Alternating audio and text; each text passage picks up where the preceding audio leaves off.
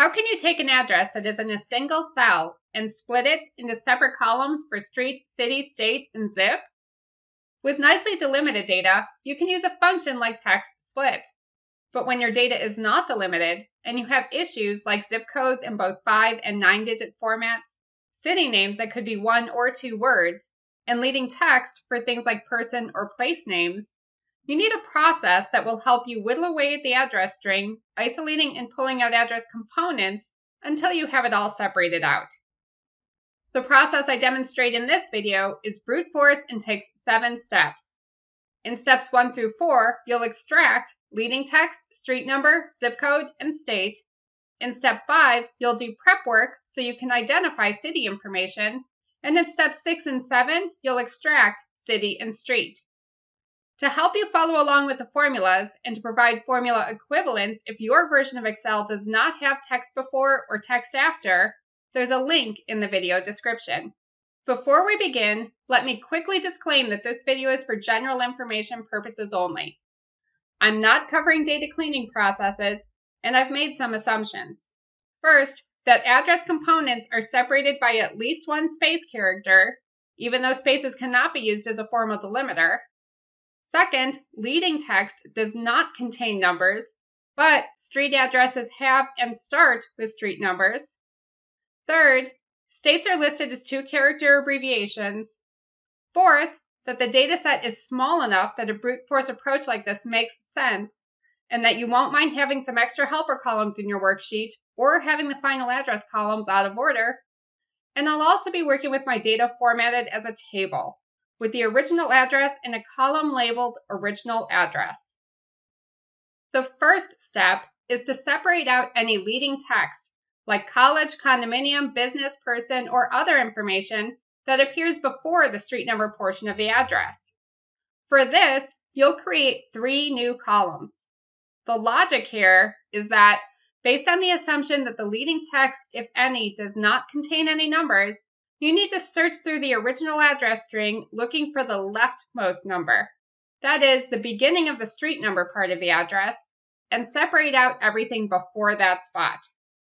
To do this, you'll need one helper column called leading index, which will store the location of the separation spot, a column called leading text, into which you'll separate out any leading text that exists, and one helper column for what's left of the original address after removing the leading text, which I'll call updated address. So let's start by finding the leading index. First, you'll find the first instance of each digit, 0 through 9, in the original address using the find function.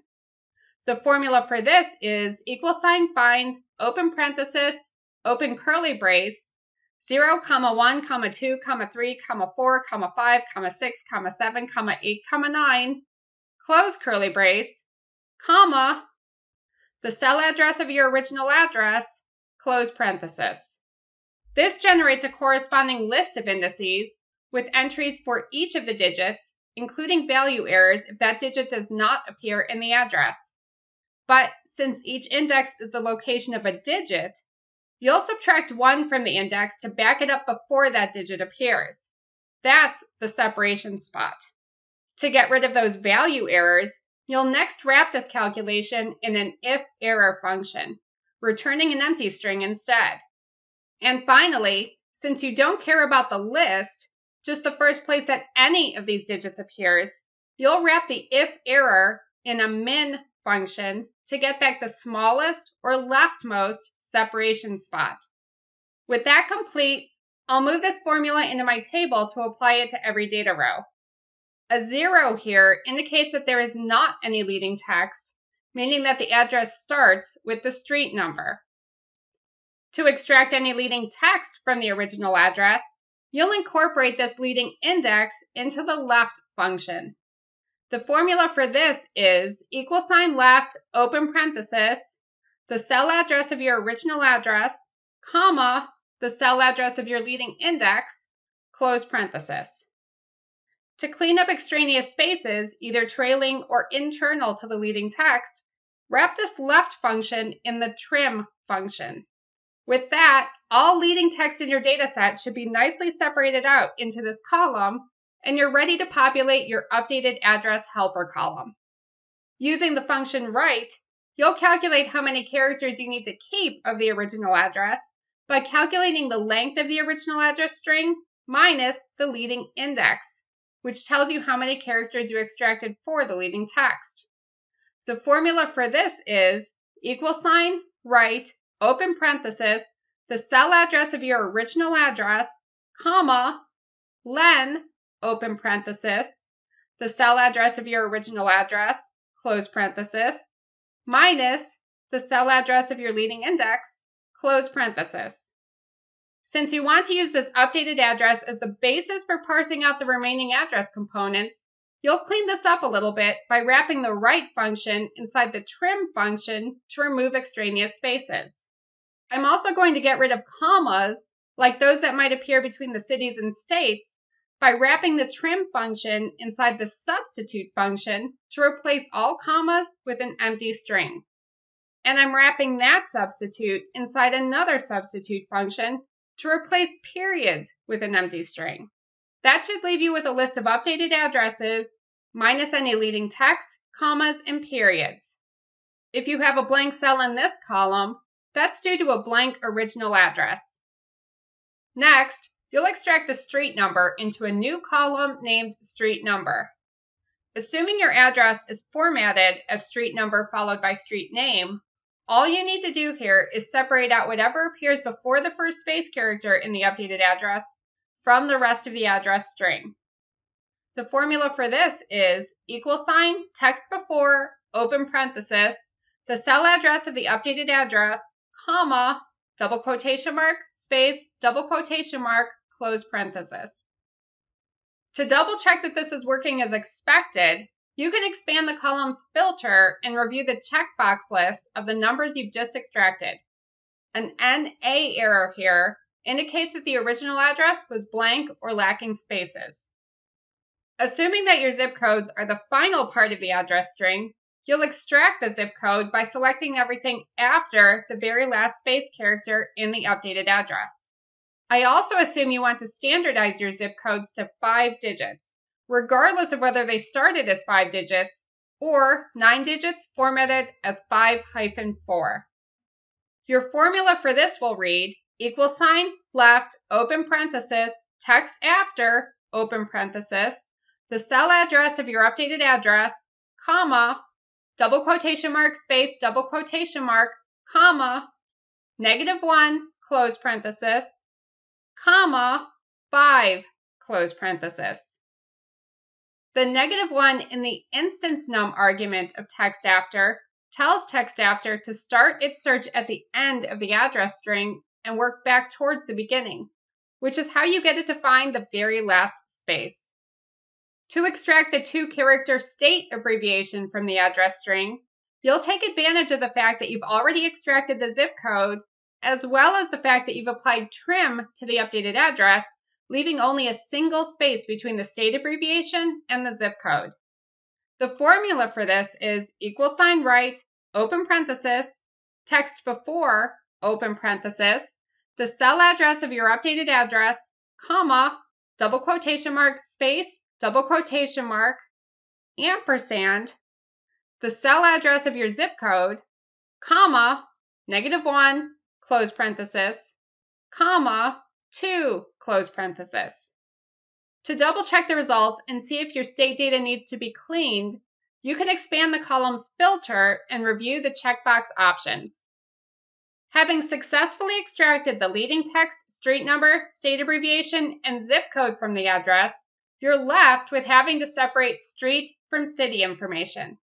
The difficulty here is that you need a systematic way to tell whether a particular set of characters is part of a city or a street. In this video, I use a lookup approach. First, you'll add a helper column to your table that contains just the street and city information that you still need to separate. Second, you'll create a lookup table that contains a unique list of city names that appear in your data. And then you'll finally be ready to extract the city and street by using that lookup table to first identify city related characters and then using what you know is a city to extract everything else that's left in the street city helper column into the street column. I'll call my helper column street city and enter a formula that will extract everything after the street number, but before the state. The formula for this is equal sign trim, open parenthesis, text after, open parenthesis, text before, open parenthesis, the cell address of your updated address, comma, the cell address of the state, comma, negative one, close parenthesis, comma, the cell address of street number, close parenthesis, close parenthesis. The negative one tells text before to begin its search starting from the end of the updated address, which helps to find the state and not the state abbreviation's characters somewhere else in the address string, like the street or city name. Getting a value error here probably indicates a blank original address. Now, in order to create the lookup table, you'll add another worksheet to this workbook and in cell A1, add a column header cities. You can then select cells A1 and A2 and from the Insert tab of the ribbon, select Table. Check the checkbox for My Table has headers and select OK. From the Table tab of the ribbon, in the table name box, I'll type in City List, no spaces, as the name of this new table. And with that, this table is ready for data. If you've already got a list of all of the possible cities, you can paste them in here. If you're creating this list from scratch, you'll manually scan for and add city names to the list as you become aware of them. Depending on the size of your data set, this could be a lengthy process. To speed it up, start by entering the obvious cities and then move on. In step six, you'll set up one of the helper columns to not only help you parse out cities from streets, but also flag if you've got a data row with a city name that needs to be added to this lookup table. Assuming that your city names could be one or two words long, you'll need to do a little trial and error in order to extract the correct city information. The logic here is to use the Street City Helper column to create a list of possible city names, consisting of the last one or two words of that cell. You'll then identify city information by identifying a match between your potential names and the list in your lookup table. This requires five additional columns. The first is a helper column named space count, which stores a count of the number of spaces contained in the street city string. You can calculate this as the difference between the length of the street city string and a version of the street city string that has had all of the spaces removed. The formula for this is equal sign len, open parenthesis, the cell address of street city, close parenthesis, minus len, open parenthesis, substitute, open parenthesis, the cell address of street city, comma, double quotation mark, space, double quotation mark, comma, double quotation mark, double quotation mark, close parenthesis, close parenthesis. Next, add a helper column named city1 to store what might be the city name if the city name is comprised of just one word, and a helper column named city2 to store what might be the city name if the city name is comprised of two words. These are the lists you'll compare to your lookup table. In city one, you'll enter the formula equal sign, text after, open parenthesis, the cell address of street city, comma, double quotation mark, space, double quotation mark, comma, negative one, close parenthesis, which extracts the last word by extracting everything after the last space in the street city string. In city two, you'll enter the formula equal sign, text after, open parenthesis, the cell address of street city, comma, double quotation mark, space, double quotation mark, comma, the cell address of space count, minus one, close parenthesis. This extracts the last two words by extracting everything after the second to last space in the street city string. If you're getting a value error in the city2 column, you can wrap this formula inside an if then else, checking that space count is greater than 1 before you call text after, and returning empty string otherwise. Now you're ready to check for matches against your city lookup table. Add a fourth helper column named City Index. This is where you implement the trial and error that this step requires.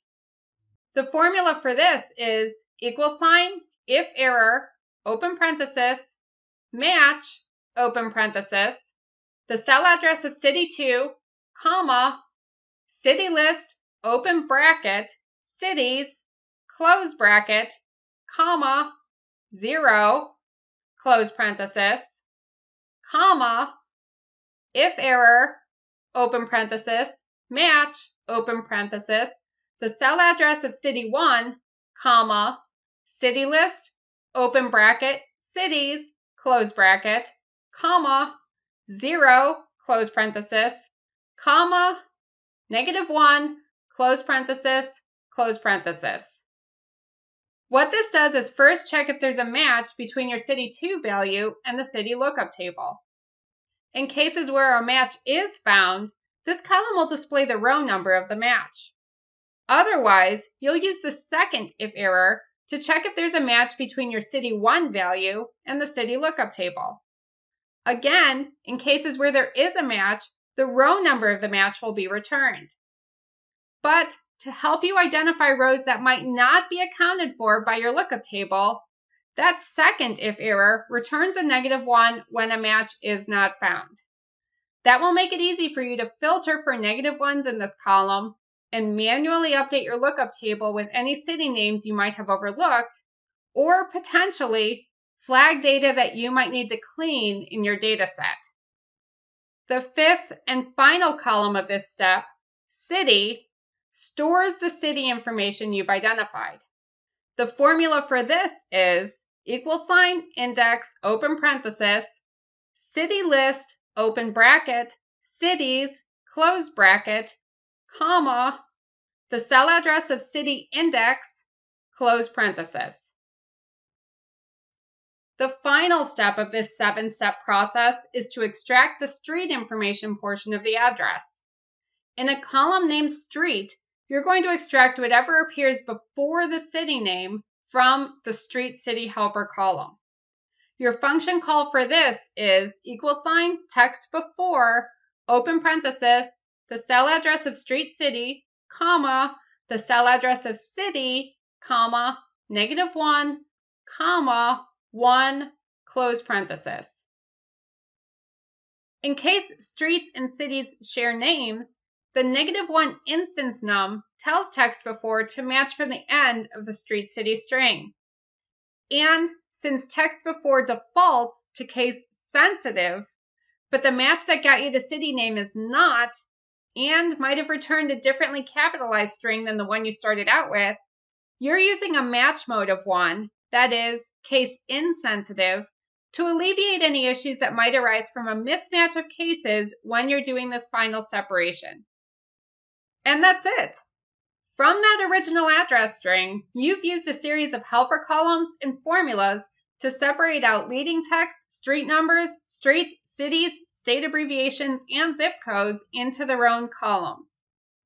If this video helped you, drop a comment below and let me know. If you've still got questions or are interested in help with a data project, reach out to me, Barbara Olsafsky, the owner and data wrangler at Blou Designs LLC, on LinkedIn or at bloudesigns.com. And don't forget to like, subscribe, and share this with someone who needs it. Thank you for watching.